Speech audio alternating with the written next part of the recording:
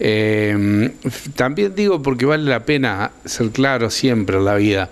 Eh, yo en esta, en esta elección, cuando eh, hablé claramente con José Amorín, que quería estar trabajando desde las bases del partido para la recuperación del partido.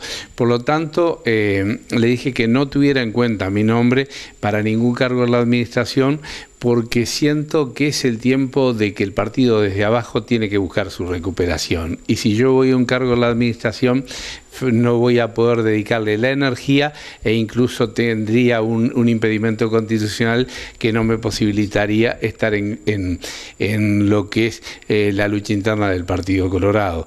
Eh, hago la aclaración porque siempre en esto de que mucha gente para justificar actitudes propias eh, dice cosas que no son exactas.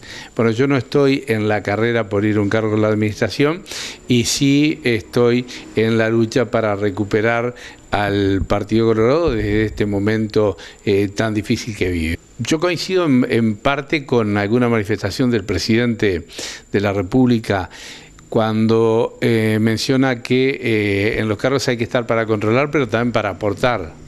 Siento que hay que estar para aportar siempre. El país eh, hace un esfuerzo enorme en el mantenimiento de lo que es el sistema político y los políticos en el lugar que estemos tenemos que estar para aportarle al país, no para, para hacerle daño desde el lugar que estamos, sino para aportarle al país, controlar y aportar.